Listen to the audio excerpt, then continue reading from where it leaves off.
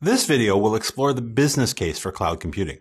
In other words, why would you move something to the cloud? Should you move everything to the cloud? Does the cloud make sense? How does it work for your enterprise and your organization? You've probably heard about cloud computing or the cloud. So what's the business case for cloud computing? As a business owner or business decision maker, why should you be interested in knowing about the cloud? Well, you're only going to move applications, services, or infrastructure to the cloud if it makes business sense. So does it save money? Does it save time? Does it deliver more customers, more services, or other types of efficiencies? If it doesn't, then a hybrid model where some parts of your offering are in the cloud and some remain on premises, or a fully on premises model may still continue to be your best option as a business decision maker, you need to understand a little bit about the cloud and the business case for cloud computing in order to make that decision. Now, cloud computing is often compared to and contrasted with or confused with hosted services. Now, there is a lot of similarity between a simple and straightforward hosted service and a fully cloud computing environment. Some providers or vendors will offer both, and many times the lines between them will be blurred.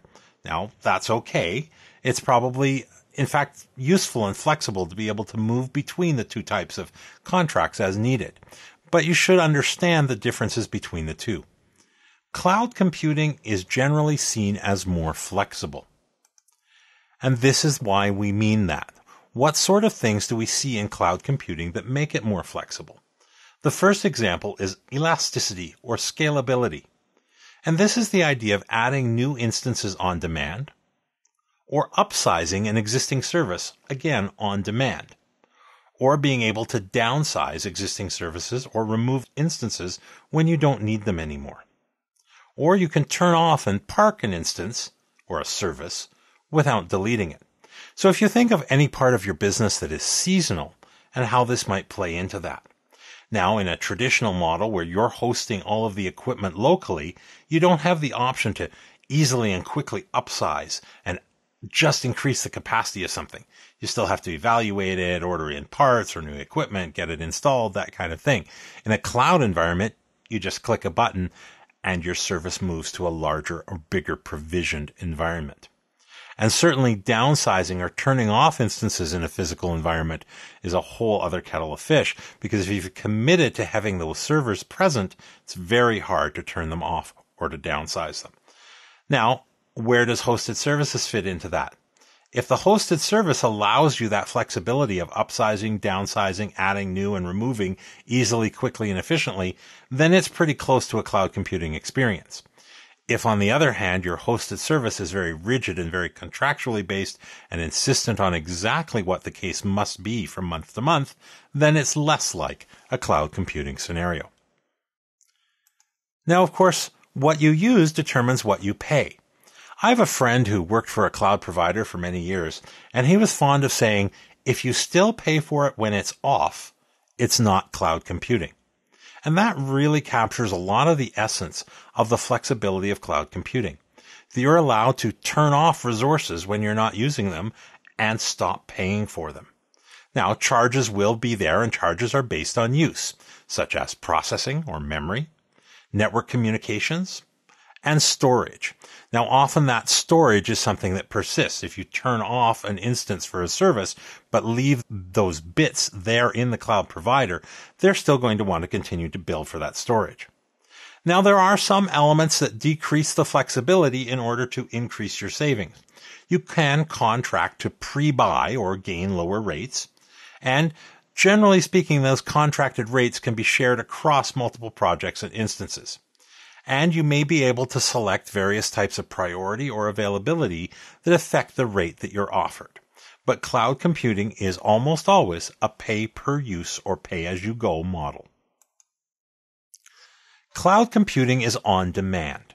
It's very fast to turn on or off services. They're self-serviced almost all the time using a web portal or scripting.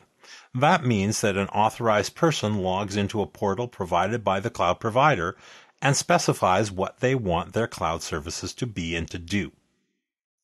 Often there's a form of automation involved, so that if you don't want to have a user sitting in front of a web browser, there's usually some kind of script or API where your automation at your site can actually control what happens in the cloud as well. Cloud computing can be known for its resiliency.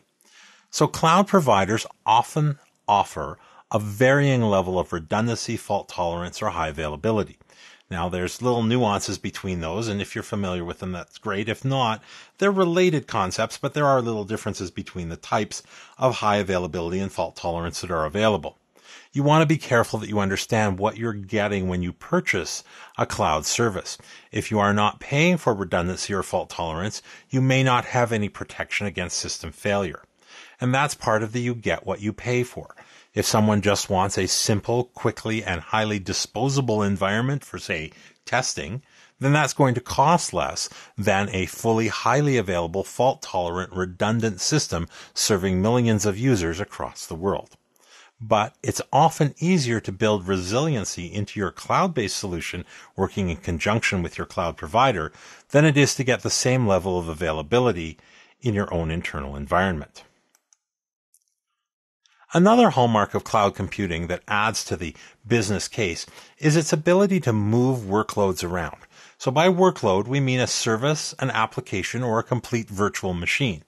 And these can be moved as needed.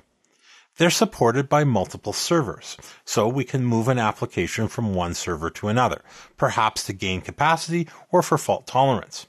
Most cloud providers have multiple data centers, and you can often move workloads between the data centers themselves. Again, that's perhaps for geographical fault tolerance or to be closer to your customers. Now, speaking of being closer to your customers, most of the largest cloud providers also have multiple regions, and your agreement with them or your contract can specify which of the regions your data and services live in. This allows you to operate different operations in, say, Europe than from North America.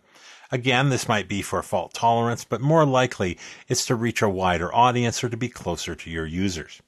Whatever the way you want to set it up, the ability to move these workloads around between servers, data centers, or regions is key to meeting your organization's needs, whether that's for high availability reasons, to manage the updating of servers, or to be closer to the customer.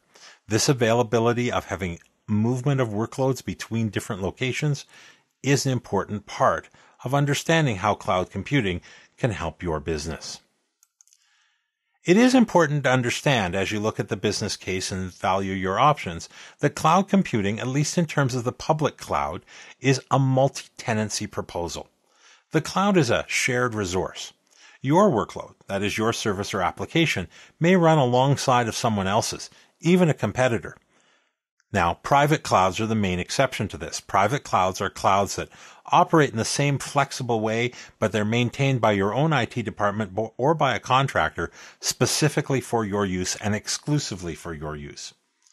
But security does matter and especially in the public cloud. You need to understand how your provider is ensuring that even though the resources are shared between multiple tenants or multiple customers, your data is protected and no leakage can occur between them.